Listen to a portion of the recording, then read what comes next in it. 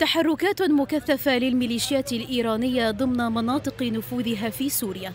فبعد تعرضها لعدة استهدافات من قبل إسرائيل تتجه هذه الميليشيات إلى ترسيخ أقدامها في ريف دير الزور الشرقي عبر تعزيزات عسكرية تتضمن نقل أسلحة وذخائر وصواريخ متوسطة المدى تم تصنيعها في إيران إلى مواقع في بادية الرقة المرصد السوري لحقوق الإنسان قال إن الميليشيات الإيرانية استقدمت شاحنات إلى منطقة آثار الشبلي ببادية الميادين في ريف دير الزور الشرقي وجرى تحميلها بالأسلحة والذخائر من مخازن السلاح الموجودة في تلك المنطقة.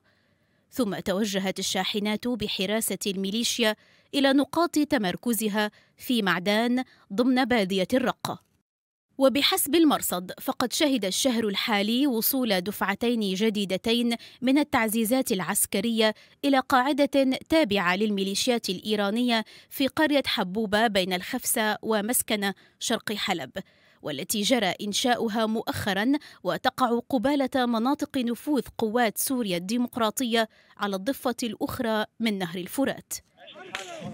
وفيما تركز المحاولات الإيرانية لتهريب الأسلحة في المنطقة على نظم دفاعات جوية تستهدف التصدي للغارات الإسرائيلية.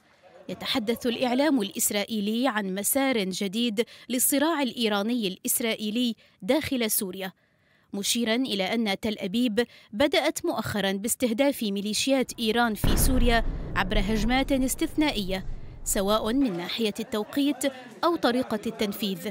بعد أن اتجهت إيران إلى تغيير طرق تهريب السلاح وطبيعة انتشار ميليشياتها في سوريا فضلا عن أنواع الأسلحة التي تقوم بتهريبها. نور الحصني العربية.